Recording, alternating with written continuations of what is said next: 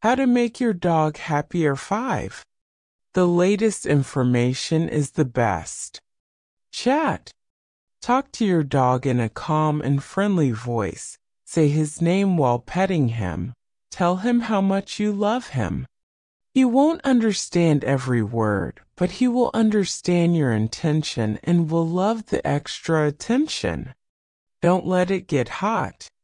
Nobody feels good in intense heat and neither does your dog. On hot days, only walk him early in the morning or after the sun has gone down. If he stays outside, make sure there is plenty of shaded space for him to shelter and provide a shallow pool so he can cool off. It could even be a basin with fresh water. Don't avoid the vet.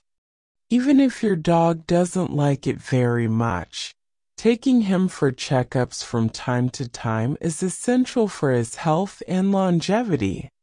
Brush the dog's teeth. Taking care of your dog's teeth prevents gum disease, tooth loss, and bad breath. You can extend your dog's life if you brush his teeth three times a week. See here how to brush your dog's teeth.